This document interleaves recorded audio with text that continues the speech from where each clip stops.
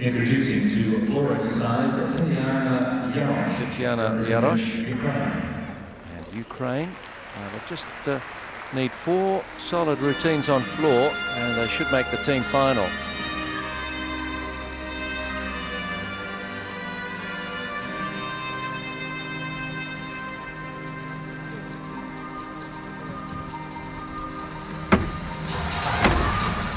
Well, she stepped out. So there's a tenth gone. Be very careful not to do that again. And had room to spare at the end of a second pass. Tatiana Yarosh is uh, 16. Turned 16 a couple of weeks before the Olympics. Had a fourth on floor at the uh, Swiss Cup in Zurich last year.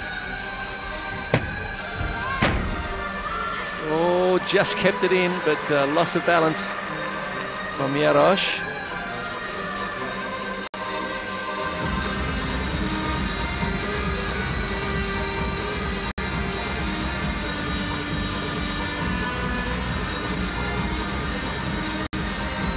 Australian and uh, American gymnasts wouldn't be hoping she fails. They just hope she doesn't quite give her best.